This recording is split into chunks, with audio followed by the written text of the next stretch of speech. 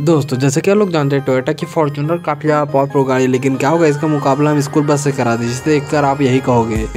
क्या बात है? दोस्तों, आपकी जानकारी के बता दें, हम टोयोटा फॉर्चुनर का मुकाबला हम स्कूल बस से कराते हैं, जो कि रास्ते में फंस गई है और उसे निकालती है कि नहीं, चलिए देखते हैं। लेकिन उससे पहले अगर आप भी हमारे को सच्चा भक्त तो वीडियो को कीजिए लाइक और कमेंट में आराम रखिए चलिए देखते हैं क्या होता है। दोस्तों, जैसे आप देख सकते हैं, स्कूल बस यहाँ पर फंस चुकी है, लेकिन टोयोटा फॉर्चुनर को फोर बाई फोर में लगाया जाता है। और जैसा कि आप देख सकते हैं टोयोटा फॉर्चुनर एक ही झटके में पूरी की पूरी स्कूल बस को फंसी हुई, उसे निकाल देती मतलब औसम यार, क्या फुल गाड़ी है ये।